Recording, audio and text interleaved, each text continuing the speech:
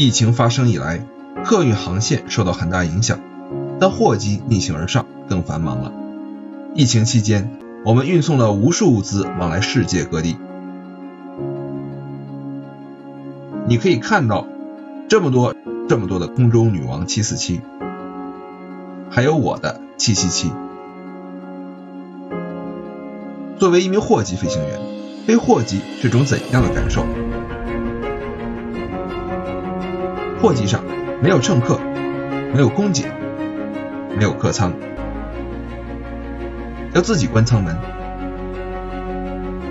自己准备茶水餐食，自己清洁垃圾。一趟纽约包机来回，机组的执勤期长达四十多个小时。货机包机床铺不够，机长会用命令、有关怀的语气对副驾驶说：“我是机长，你必须听我的，睡床。”师兄会对师弟说：“我是师兄，你必须听我的，睡床。”集中飞行、隔离政策、执勤时间、核酸检测、多久回家，这些关键词构成了我们的工作和生活。有时大家甚至要做好两三个月见不到家人的准备。想到这些，还是会忍不住鼻子一酸。